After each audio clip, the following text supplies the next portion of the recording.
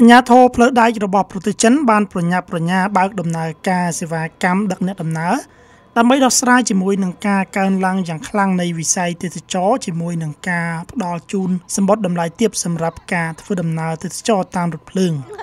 ស្របពេលដែលដំណើរទេសចរតាមរថភ្លើងមានសន្ទុះជាខ្លាំងក្នុងប្រទេសចិននាប្រមាណឆ្នាំចុងក្រោយនេះ សហការឧបត្ថម្ភដោយធនាគារអភិវឌ្ឍជនបទនិងកសិកម្មដើម្បីកសិករនិងអភិវឌ្ឍសេដ្ឋកិច្ចសង្គមធនាគារកាណាឌីយ៉ាដៃគូហេរញ្ញវត្ថុជាទីទុកចិត្តរបស់លោកអ្នកធនាគារប្រៃសណីកម្ពុជា ផ្ដល់ឱកាសឥតដែនកំណត់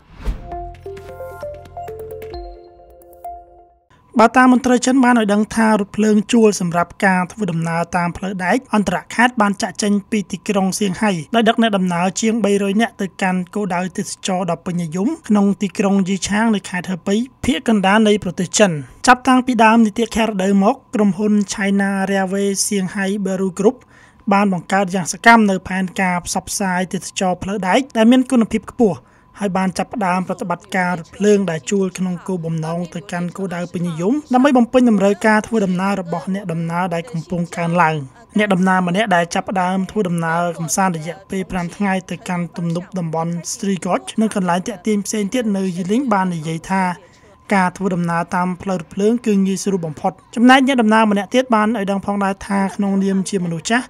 យើងរីករាយដែលបានជិះរថភ្លើងសម្រាប់ធ្វើដំណើររថភ្លើងល្បឿនលឿនទូទៅក៏ត្រូវបានដាក់បញ្ចូលក្នុងគម្រោងផ្សព្វផ្សាយទេសចរផ្លូវដែកដើម្បីបង្កើតជំរឿសសម្រាប់អ្នកដំណើរផងដែរលោកស្រី Lily អនុប្រធានក្រុមហ៊ុន Shanghai Railway International Tourism Group Co Ltd បានឲ្យដឹងថាក្រុមហ៊ុនលោកស្រីក្រុងនឹងដាក់ឲ្យដំណើរការរថភ្លើងទេសចរល្បឿនលឿនទូទៅចំនួន90គ្រឿងនិងរថភ្លើងទេសចរល្បឿនលឿនជាង20គ្រឿងនៅឆ្នាំនេះក្រោយមកទៀតលោកស្រីនឹងដំណើរការសេវាកម្មដឹកជញ្ជូនផ្លូវរថភ្លើងទេសចរផ្លូវឆ្ងាយជាច្រើនកន្លែងដែលមានចំណតជាច្រើននៅលើផ្លូវដែលតភ្ជាប់តំបន់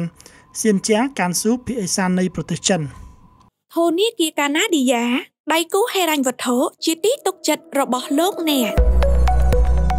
ស៊ីស៊ីថាំពិសាចិននឹងនាំយកផលិតផលរបស់លោកអ្នកទៅដល់ដៃអតិថិជនចិន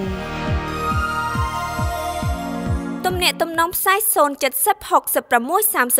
70 069 22 22 69